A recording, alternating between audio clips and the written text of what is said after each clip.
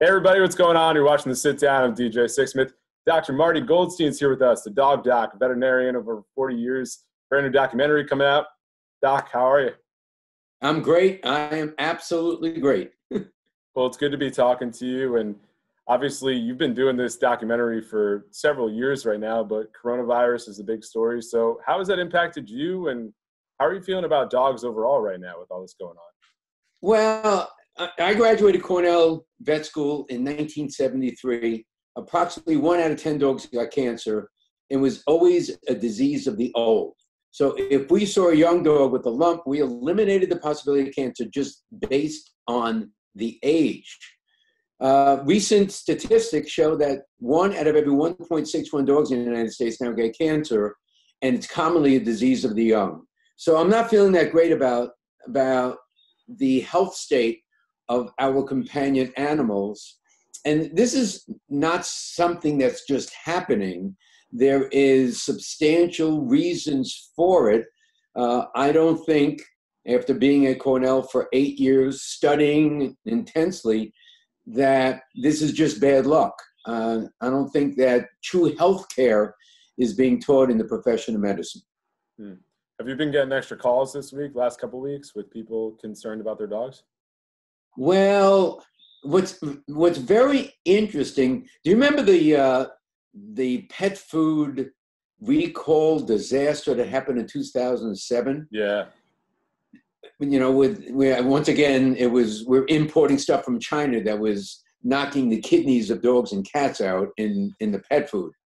And what was very interesting is veterinary clinics' phones were ringing off the wall and I had a national practice at that time. Mm-hmm. We were seeing people all every day from all over the United States. You know how many calls we got?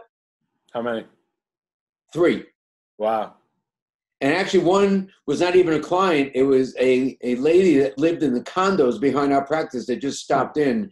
And that's because we properly educated our clientele for years and years. So, with this disaster, too, because we've educated so much, and I've educated on integrative healthcare for animals for 47 years now, our clientele is not going crazy. Now, what's very interesting, I have right here, when you see the documentary, you'll see one of our main sub themes of therapy is intravenous vitamin C at high doses. I've been using that since the 1970s very effective against cancer, but so many other disease maladies respond to it. The Shanghai Medical Association has released an expert consensus statement on the comprehensive treatment of COVID 19, where they endorse the use of high doses of intravenous vitamin C for the illness. Mm. Why are we hearing this about this in the United States? And then there's an entire report from the NIH, the National Institute of Health, National Library of Medicine that is showing the release of this virus in 2019 from Wuhan, China, and how vitamin C given not only can treat the disease, but prevent it from happening.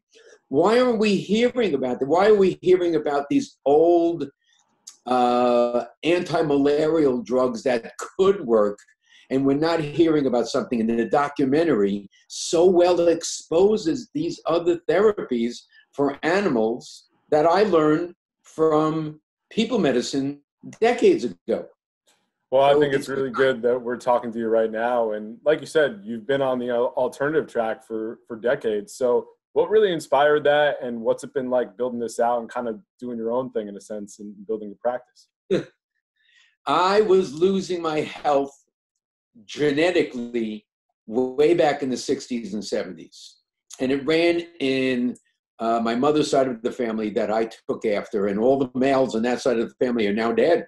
Mm. And I was chronically degenerating in the 70s. I was in my 20s, and I was just searching for answers that my doctor couldn't give me. You know, injections of long acting cortisone that goes into my shoulder for my chronic arthritis and bursitis and I stumbled upon healthcare for people.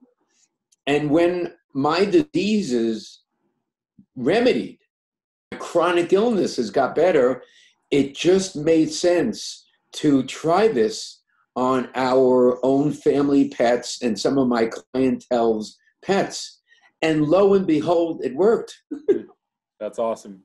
So in the documentary, we get this really intimate look at your practice, um, the dogs that come in, the humans that are dealing with the dogs.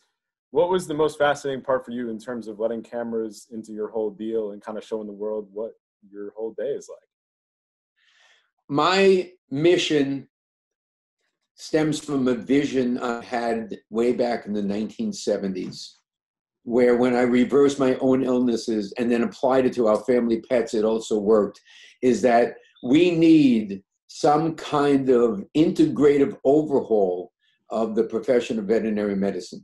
So the the criticism and opposition and ridicule I received when I became certified in acupuncture in the mid 70s, and now 57% of the university vet schools embrace acupuncture